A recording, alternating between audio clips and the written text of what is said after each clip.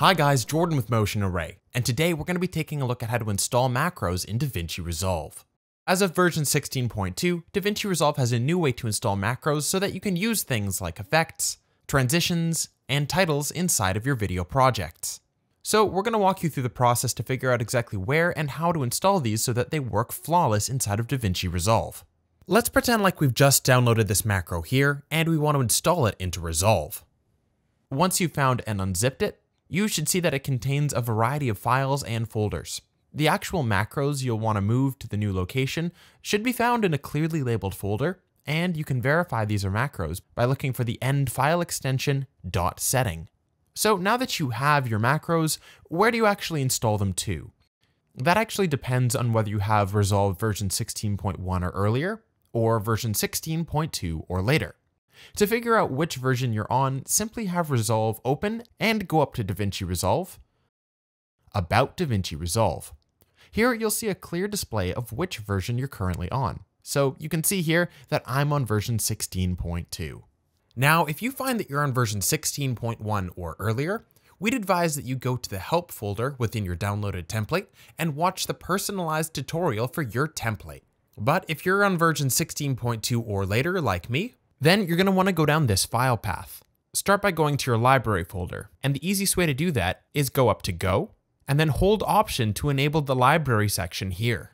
Click on Library, then go to Application Support.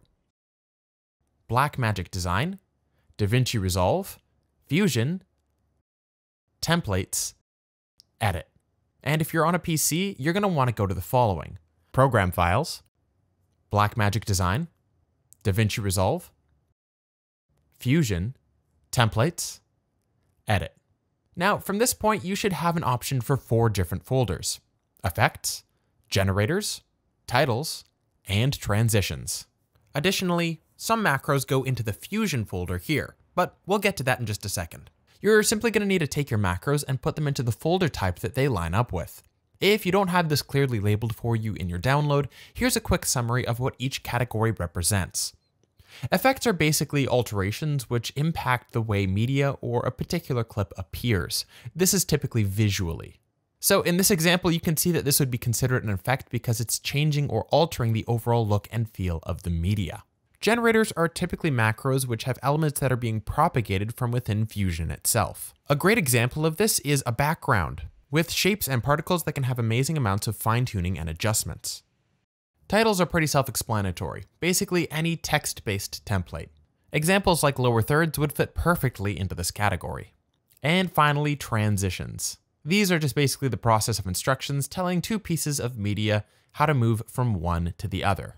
Additionally, there's also Fusion macros, which are basically any one of these categories, but with such a high reliance on Fusion that it's actually more accurately organized as a Fusion macro as opposed to any of these other four categories. Keep in mind that as of recording this video, these are in general less common and also less common on our marketplace. So once you know the appropriate category that your macros fall into, just drag and drop the macros with the ending dot .setting into that folder. Nice. And if your macro uses a particular font, there should be a folder just for that so you can click on the link and download it for yourself. This is really important because DaVinci Resolve macros don't have a default font set which means that if the font that the macro is using isn't able to be found, the text just won't show up at all. And from there, you should see that these macros are now available to use inside DaVinci Resolve. Just go to Effects Library, and under Toolbox, you'll find it in the corresponding category that you placed the macros into. But if yours aren't showing up right away, we'd suggest quickly to shut down Resolve and open it back up again. These should be incredibly simple to use. Just drag and drop, and then if you need to adjust any parameters, you can highlight the clip or transition in question and go up to your inspector. And finally, if you're working with a Fusion macro, just add a Fusion composition from underneath Toolbox, Effects, Fusion Composition. Drop it onto your timeline, and then with it highlighted, click on the Fusion tab here.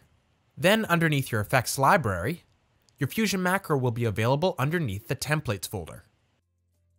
And when you download these Fusion macros from our marketplace, they'll each come with a personalized video tutorial so that you can effectively use it and customize it to your liking. We have tons of DaVinci Resolve macros for you to be able to use right here at motionarray.com. We hope that you now understand where and how to install DaVinci Resolve macros, and we can't wait to see all the amazing things that you'll use them to create.